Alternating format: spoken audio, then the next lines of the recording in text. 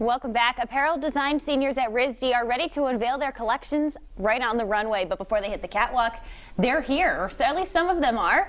Student Lauren Perea joins us this morning. Good morning. Good morning. Congratulations, first of all. This might be this must be a nice feeling to know that all your hard work is really paying off. You can see these looks completed, taking the runway. Yes, I'm very, very excited and a lot less stressed now. Mm -hmm. Tell Great. us about your collection and what your inspiration was. Uh, my inspiration for this year has been a process, I guess, going off of my love for oversized clothing on women.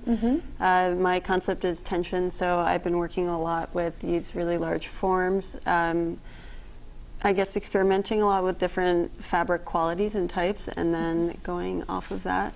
It is a lot of experimentation, I'm sure, to you know what looks good, what's going to feel good for you know the person wearing the item as well. Tell us about these two looks. Let's start with, this sleek black one. Okay, so the black one, I went off of the fabric, so I found this really stiff, interesting, different material that I've never worked with before. Mm-hmm. So finding what would really showcase the sculptural qualities of it. Sure. So making a pair of pants and then a really fitted top to contrast that.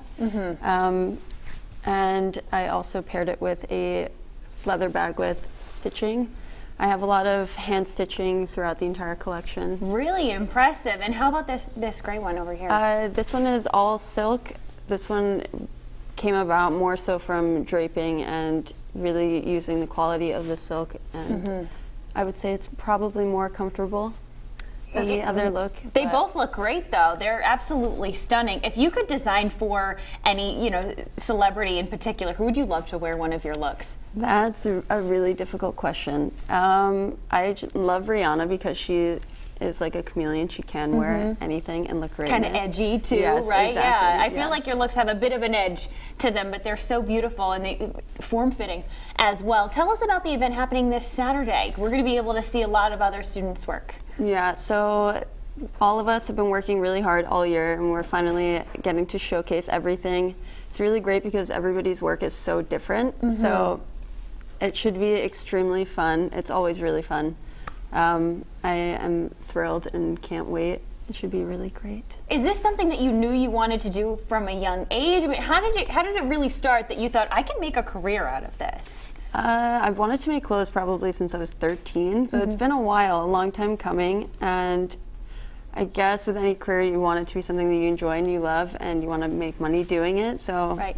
I'm very happy that I have the opportunity to do something that I love, and it's creative and great. How about even in terms of color palette? Do you feel like you stick to these kind of slate grays and, and blacks and things? That's that's your vibe. Yeah, definitely. I mean, I do like color too, Mm-hmm. but um, I have I like having a clean palette when I go into my closet. It's so much easier to get dressed and ready. Yeah. and I like Everything kinda matches together, Yes, right? Exactly, exactly. Well, these look wonderful. Thank you so much for giving us a little you. sneak peek. She's not the only one presenting some looks, though. If you'd like to see even more beautiful designs by other students at RISD, be sure to check out Collection 2017. It happens at the George Meehan Auditorium at Brown University this Saturday afternoon.